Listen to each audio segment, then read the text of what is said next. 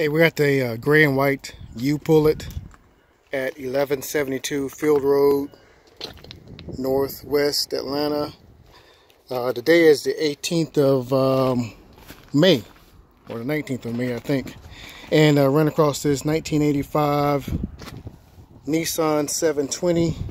If you guys are looking for any parts, it's in manageable condition you may be able to find some things that you want to use out of here. Uh, it just depends on what you're looking for. But the motor is gone. Uh, interior is not actually not in bad shape. I pulled the carpet myself. Um, so if you need any pieces out of it, you may want to check it out. Don't know how long it's been here, but maybe worth your while if you live in the area. Again, like I said, it's not perfect. Has a share of dings and dents.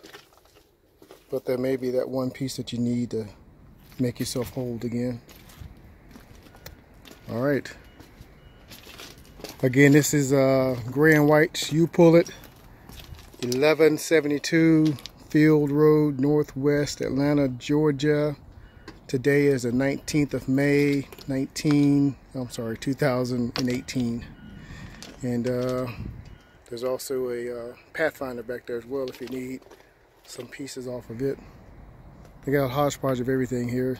This stuff is pretty old compared to other junkyards.